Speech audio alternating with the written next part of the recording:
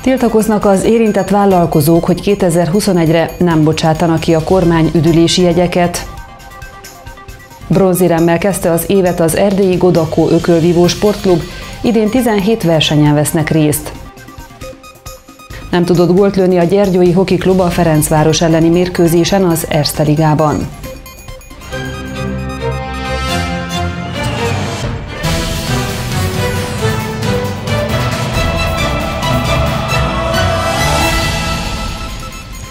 Szeretettel köszöntöm a Fénytelevízió nézőit egy újabb hét kezdetén. Friss híreink következnek, kérem tartsanak velünk! Miután a 2020-as évet sokan a vendéglátó és turisztikai ágazatban tevékenykedők közül egy érvágásként élték meg, most újabb negatívumként tapasztalták, hogy a kormány 2021-re nem bocsát ki üdülési jegyeket. A korábban kiadottakat azonban még 2021-ben fel lehet használni. Az Arbor Vállalkozói Szövetség turisztikai ágazata a téma kapcsán egy petíciót fogalmazott meg. Február első felében jelentette be Ludovik Orbán, a Nemzeti Liberális Párt elnöke, hogy a kormánykoalíció miután tanácskozott a költségvetésről és a költségek csökkentéséről, azt tervezi 2021-re nem bocsátanak ki üdülési jegyeket. A korábban kiadott üdülési jegyek érvényesek maradnak és felhasználhatóak ebben az évben is. A Penele elnökének bejelentése felháborodást váltott ki a vendéglátásban, turisztikában érdekeltek körében, akik a pandémiának köszönhetően amúgy is nagy veszteségekkel zárták a 2020 2020-as évet, és a jelenlegi szigorításoknak köszönhetően is korlátozott számmal működhetnek. A Gyergyószent Miklósi Arbor Szövetség turisztikai képviseletének vezetője személyesen is érintett a témában, hiszen családi vállalkozásként egy panziót működtetnek, így kettős minőségben kérdeztük. Hát minket is meglepett ez a, ez a hír. Az elmúlt év tapasztalatai azok, hogy, hogy egy bejáratott, jól működő dolog tud lenni. Mi is nem értjük azt, hogy miért ezt a döntést hozták, hogy visszavonják ezt a, a turisztikai jegyet. Valójában biztos megvan nekik az okuk erre rá. Szerintem befolyásolni fogja a belturizmust, mert bizony olyan emberek mozdultak meg ezekkel a jegyekkel, akik valójában lehet, hogy, hogy nem jöttek volna felénk, hogyha nincs ez a, ez a lehetőség. Számokban ezt majd valószínű az év végén tudunk erről beszélni, hogy ez mennyivel befolyásolta az idei szezont. Ugye tudni kell azt, hogy az a járványhelyzet is nagyon alátett ennek az ágazatnak, és emiatt ilyen előkészületekben vagyunk, próbálunk felkészülni egy jobb szezonra. Az idő majd bebizonyítja azt, hogy igazunk van vagy nincs.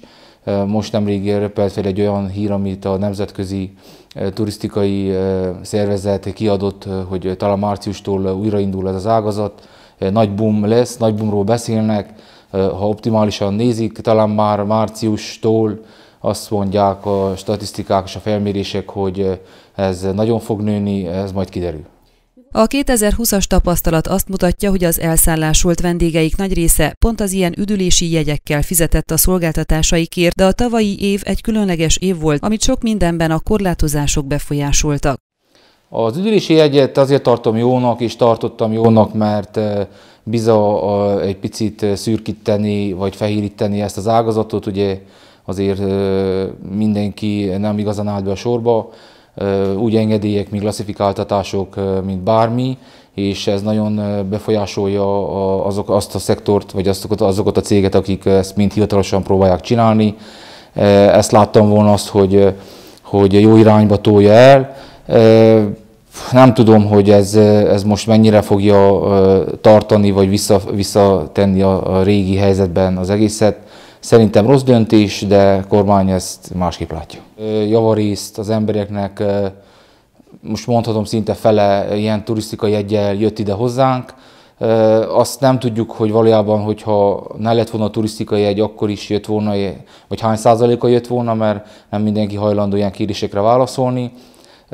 Itt azt tudni kell, hogy a, a válság ideje, ez a, a vírushelyzet miatt ugye dupla síkon futott, volt ezek a turisztikai jegyek, és volt az, hogy az országból nem lehetett kimenni. Na már most ezt se tudjuk igazából mérni, hogyha, hogy azért volt egy picit jobb a turisztikai jegyes mozgás, mert nem lehetett határokon kívül menni, vagy így is úgy is jobb lett volna, mert volt ez a, ez a lehetőség, hogy országon belül ezek a jegyekkel lehet mozogni. Tehát ez egy picit ködösít nekünk. A gyergyói turisztikában érdekelt vállalkozók közös fellépéssel tiltakoznak a kormány tervei ellen. Igen, a Gyergyó területi turisztikai cégek nevében az Arbor petíciót tesz le a minisztérium fele, hogy mi is ellenezzük ezt az egész, ezt az egész ellenzést vagy visszavonást.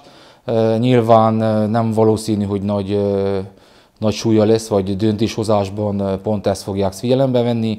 Nyilván nagyon sokan éltek ezzel a lehetőséggel, és kifejtették azt, hogy, hogy mennyire nem jó dolog ez, hogy visszavonják. Minél többen tesszük le, nyilván annál nagyobb, annál erősebb a hangja ennek az egésznek. Reméljük, hogy egy utólagos kormány határozattal, vagy ilyen sürgőségi határozattal ezen módosítani fognak, és belátják azt, hogy valójában tényleg jó a gazdaságnak mindenféle téren, tehát adó, bevon, adó többlet bevonással jár ez az egész, és, és akár fehérítik is, vagy szürkítik a, a, ezt az ágazatot a turisztikával. Az Arbor Gyergyomedencei turisztikai tömörülés folyamatosan egyeztet a megyében, vagy akár Székelyföldön működő más turisztikai érdekképviseletekkel. Egyrészt azért, hogy a régiót minél láthatóbb és vonzóbb célponttá tegyék, másrészt, hogy minél több síkon hallassák hangjukat. 2020 novemberében a kormány úgy döntött, hogy a 2019 és 2020-ban kiadott üdülési jegyeket 2021 decemberéig fel lehet használni. A vakációs jegyeknek 1450 lej a névértéke, ezt főként a közférában dolgozók kapták.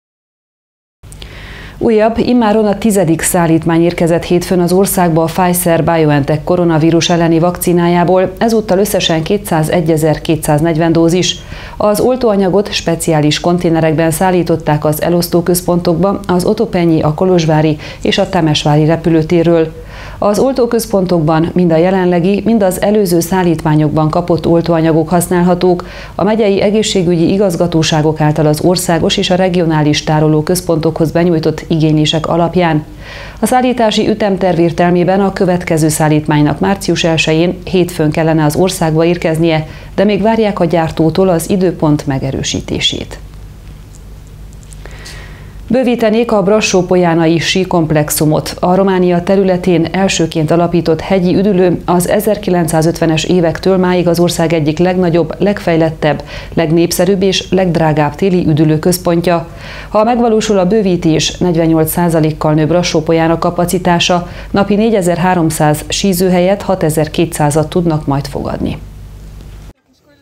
Bővíteni a Brassó-Polyánai síkomplexumot Alen Kolibán Brassó polgármestere. Az infrastruktúrális tervet a napokban mutatta be a polgármesteri hivatal. A két részletben zajló beruházások első szakaszában két új négy férőhelyes székes felvonót építenek, és éjszakai világítással látják el a Drumul Rossú és Subteleférik nevet viselő sípályákat. Emellett további hóágyukat vásárolnak, hogy természetes hó hiányában a komplexum teljes terület területén tudjanak műhavat gyártani. A befektetés második szakaszában egy új kabinos felvonóval kötnék össze Barcarozsnyót a sípályákkal. Ezt 10 férőhelyesre tervezik, és óránként 2400 személy szállítására lesz képes. Tervben van a parkolók bővítése is további 600 helyjel, emellett 75 hektárról 100 hektárra bővítenék a telepet, így 24 kilométer helyett 30 kilométer lenne a komplexumban található pályák teljes hossza. Ha mindez megvalósul, 48%-kal nő Brassó polyána kapacitása, napi 4300 síző helyett 6200-at tudnak majd fogadni. A Románia területén elsőként alapított hegyi üdülő az 1950-es évektől máig az ország egyik legnagyobb, legfejlettebb, legnépszerűbb és legdrágább téli üdülőközpontja. Területén 8 sípája van, melyek összesen 24 kilométert tesznek ki, ezeket 7 sífelvonó látja el. Elfogadta az idei központi költségvetés és a társadalom biztosítási költségvetés tervezetét pénteki ülésén a tavaly évvégén hivatalba lépett új kormány. Idén a GDP 7,16%-ára rugó államháztartási hiányjal számolnak, miután Románia a tavalyi évet 9,79%-os deficittel zárta. A büdzsé megtervezésénél 4,3%-os gazdasági növekedést, 2,4%-os inflációt, 310 ezer munkanélkülit és 3100 lejes nettó átlagbért vettek alapul. A társadalom biztosítási költségvetés tervezete 90 milliárd lejes bevételeket és kiadásokat irányoz elő, A két törvénytervezet hamarosan a parlament elé kerül. Dajbukát László a Jereváni Matenadaran ősi kéziratok múzeumának munkatársa Marosvásárhelyen a Deus Providebit tanulmányi házban tartott előadást, többek között beszélt a fegyveres konfliktusok hátteréről is. Az örmény-azeri fegyveres konfliktus hátteréről, a hegyi Karabach köztársaságban dúló háború részleteiről tartott előadást Marosvásárhelyen, a Deus Providebit tanulmányi házban Dajbukát László. A kutató örményül anyanyelvi szinten beszél, és jelenleg a Jereváni Matinadárán ősi kéziratok múzeumának munkatársa. Dajbukát Lászlóról annyit kell tudni, hogy Marosvásárhely szülöttje, és szamosújvári örmény családból származik. Ő kellene elmondja, de elmondom én, hogy ő az az ember, aki megkereste az utat otthonról haza, és itt elhagyta Marosvásárhelyt azért, hogy hazatérve az őshazába megtanulja az ősei Erdélyben elfelejtett nyelvét, és kutassa a történetüket. Azerbajdzsán, illetve az Örményország által támogatott hegyi karabaki örmény fegyveres erők között 2020. szeptemberében újult ki az újabb konfliktus. A térségben 2015-ben már csak 145 ezer fő élt, kizárólag örmények.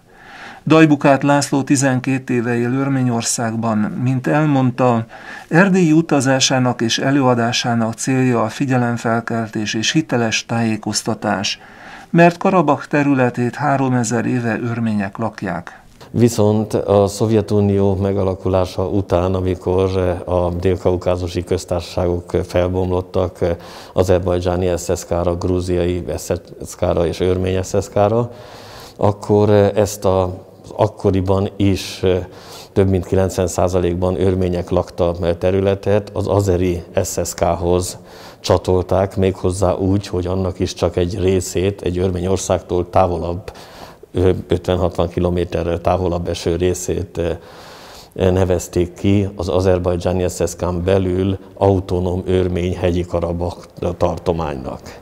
A felszólalók kiemelték, a Marosvásárhelyi és az erdélyi örmény öntudattal rendelkező magyarok szolidaritást vállaltak a karabaki örményekkel és gyűjtést is szerveztek számukra. A háborús eseményeket lezáró moszkvai egyezmény egyébként jelentős, 1994 óta nem látott területi változásokat eredményezett ebben a térségben.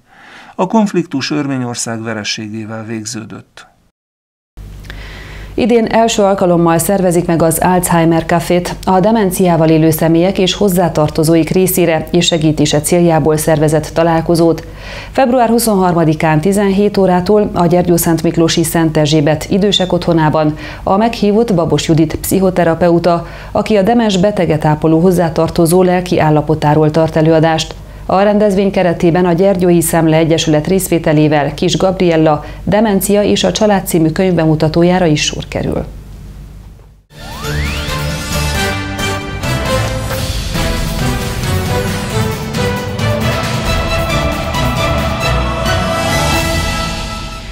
Sikeres évet zárt az Erdélyi Godakó Ökölvívó Sportklub, és 2021 is jól kezdődött számukra, hiszen már egy bronzérmet nyert az egyik sportolójuk. Nem vár rájuk könnyű esztendő, de készülnek a kihívásokra, hiszen idén 17 versenyen szeretnének megmérettetni. Újabb fontos versenyen van túl az Erdélyi Godakó Ökölvívó Sportklub. Nemrég Brailán vettek részt az ifjúsági Románia kupán, ahol jól szerepeltek. Két versenyzővel vettünk részt, Siki Robertel és Papa Jancsival. 17 éves mind a két sportolónk, ők a legidősebbek az Egyesületnél. 17-18 éves korosztályban versenyeztek, Jancsi bronzérmes lett, Robi pedig 5. helyezést ért el. Robi sokkal jobbat érdemelt volna, nagyon jól boxolt, az Teuvás ellenféle 5 0 hozta az első mérkőzést, a második mérkőzésen egy krajovai, bákói leigazolású válogatott versenyzővel volt, ott három kettő megosztott pontozással elvitte a bákói fiú a verseny, de jó volt az egész. Összességében úgy fogtuk fel, nem tettem terhet a fiúk vállára, azért nem tettem, egy év kezdődött. Nagyjából egy alapozási időszakba kilépünk egy versenybe, legyenek jó edzőmérkőzések, az volt, és tapasztalat, tapasztalatszerzésre volt jó ez a verseny nagyon.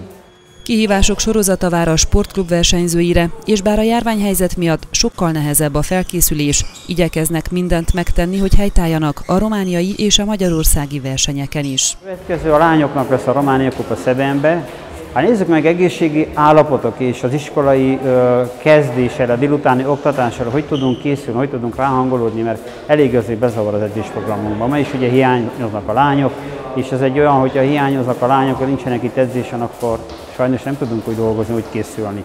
És ha nem érezzük azt, hogy igenis formában vagyunk, és ott a helyünk a verseny, akkor megyünk, de hogyha nem, akkor nem fogunk menni. Ezután pedig kezdődik a serdülőknek és a junior fiúknak Magyarországon lesz a Magyar Kupa, úgy hívják utánpótlás kupa, ami egybe Európa bajnoki eh, válogató is a gyerekeknek. És megnézzük, oda szeretnénk 9 gyerekkel eh, menni, ami 5 serdülő, 4 junior, és nézzük meg, lehet bármi, mert ugye serdülő gyerekeink nagyon ügyesek, a tavaly is nagyon jól szerepeltek a román bajnokságban, most pedig bemutatkoznak a magyarba. Idén 17 verseny van kiírva, ebből 8-at Romániában, hetet Magyarországon rendeznek, további kettő pedig az Erdélyi Godakó Ökölvívó Sportklub saját szervezése. Szeptemberben szeretnék, ha már a hagyományossá váló Tatárdombi kupa harmadik alkalommal is nívós verseny lenne. Évvégén, decemberben pedig a Székely Régió kupát szervezik meg. A tervek szerint az új, Nagyiramban épülő létesítményben, az Erdélyi Godakó Ökölvívó Sportközpontban, amely a Magyar Ökölvívó Szövetség és a magyar kormány támogatásával valósul meg. A Gyergyószánt Miklósi Inter Lucsáferul Buzau mérkőzést rendeztek vasárnap délben a teremlabdarúgó Román Kupa négyes döntője bejutásért. A második ligás Gyergyószánt Miklósiak is tisztában voltak azzal, hogy az élvonalban szereplő Buzau jóval esélyesebb, de ennek ellenére mindent megtettek, hogy meglepetést okozzanak. A Gyergyószárhegyi sportcsarnokban rendezett mérkőzésen a vezetést is sikerült megszerezniük, amire válaszolt az ellenfél, sőt egy gólos előnyükkel kezdődhetett a második félidő, amelyben aztán el is húztak. 6-2-re győzött a buzaui csapat, és ők jutottak a legjobb négy közé. Szombaton este folytatódott az Erste Liga alapszakaszának véghajrája a Gyergyói Hoki Klub számára. A Ferencváros ellen azonban semmi sem sikerült a pirosfehéreknek, és fájó vereséget szenvedtek úgy, hogy egyetlen gólt sem tudtak lőni.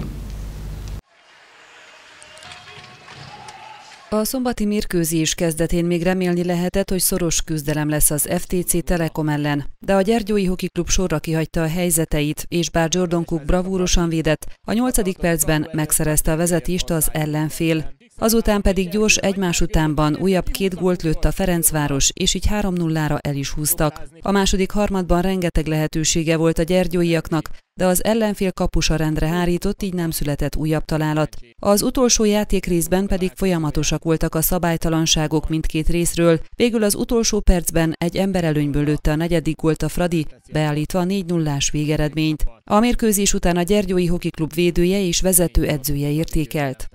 Megvoltak a lehetőségeink, azt hiszem négy ember előnyünk is volt, sajnos egy sem ment be, kapuasat lőttünk, ott volt az üres kapu, nem ment be, ez egy ilyen nap volt, Fradi jól játszott, kihasználta a gyengeségeinket, a hibáinkat. Ezt minél hamarabb el kell felejtsük. Össze kell szedjük magunkat, mind fejben, mind fizikailag keményebbek kell legyünk a kritikus helyeken kapu előtt, főleg Brassó ellen. Nem voltunk ö, kemények a kapunk előtt, ez szóltunk is ez ügybe, utána ez megváltozott. Ráadásul annyit támadtunk, hogy azt hiszem négy vagy öt lövést engedélyeztünk a második harmadba. Hát utána nagyon sok mindent megtettünk azért, hogy visszajöjjünk a meccsbe, de, de túl nagy volt a távolság az első harmad puha játéka véget, ami gyakorlatilag egy három-négy cserére, három-négy szituációra szűkíthető, amiért elbuktuk ezt a meccset. Az ember előny meg volt a, a 5-6 hátrány, Sára Bora, Seleges Tió nagyon sok előnyt hozott, nagyon keményen dolgoztak, sajnos nem tudtunk eredményesek lenni belőle. Rengeteg jó dolgot csináltunk előnybe, egy dolgot nem tudtunk a hálót elérni, meg voltak a helyzeteink előnybe, jól járattuk a korongot, csináltuk, előfordul az ilyen, dolgozni kell ezen tovább mind az edzéseken, mind a meccsen, nem szabad a hitet elveszíteni. Vannak ilyen meccsek, az utóbbi időben jól ment az előny, várható volt, hogy valamikor ez egy kicsit besül, inkább most, mint a playoffban, úgyhogy nem látom ezt olyan tragikusnak, egyedül az, hogy több lövést várok az előnyben sok jó korongjáratás után, ebbe voltunk vékonyak, és ezért nem voltunk eredményesek. Az Erste Liga alapszakaszában még három mérkőzés vár a Gyergyói Hokiklubra, mindhármat a Brassói Korona ellen játszák. Hát azért három nagyon komoly meccs a liga talán a legjobb csapata ellen, ami egyértelműen azért örülök ennek, mert olyan éles meccseket tudunk játszani a rájátszás előtt, ami fölkészít minket mentálisan arra, hogy mi vár ránk, például, hogy ne ilyen első harmadot produkáljunk. Tehát ugye ezekből a meccsekből tanulni kell, ugye ennek is a legnagyobb konzekvenciája az, hogy ilyen ö, ö, puha cseréket nem lehet csinálni egy rájátszásba defenzív zónába. Tehát ott, ott, ott, ott mindent meg kell tenni azért, hogy ne érjenek korongba a lövésekbe az ellenfél emberei. Ne egyáltalán ne kerülhessenek ilyen nyugodtan a mi kapusunk elé. És ebben ma vékonyak voltunk nagyon abban a három-négy cserébe, és ebből tanulni kell, és ezeket nem szabad elkövetni. Mi a Brassó is egy olyan szintet képvisel, hogy, és játékstílusában is, hogy biztos agresszíven fogják támadni a kapu előterünket, úgyhogy ezen mindenképpen ö, dolgoznunk kell, akár edzésen is, még van egy edzésünk odáig, illetve meccsről meccsre, hogy mire a playoff megérkezik másodikán, addigra a játéknak ebben is, ebben a szegmensében talán a legfontosabb része a játéknak a két kapu előtere, mind offenzív zóna, mind defenzív zónába, hogy ebben megerősödjünk, és ez főleg karakterkérdés, hogy odaállok, agyonüttetem magam, illetve agyonütöm, aki arra jár, ami kapunk e- elé, bejövő ellenfélről beszélek, hogy ott legközelebb átgondolja, hogy ki mer oda bejönni. Ezt az attitűdöt szeretnénk elérni a három rassó meccsen, és hogy, hogy ennek a meccsnek ez volt a legfőbb üzenete, hogy ezt a, a harcmodort mi fölvegyük már kedden. Kedden és szerdán idegenben, pénteken pedig Gyergyó Szent Miklóson játszik a Brassói Korona ellen a Gyergyói Hoki Klub.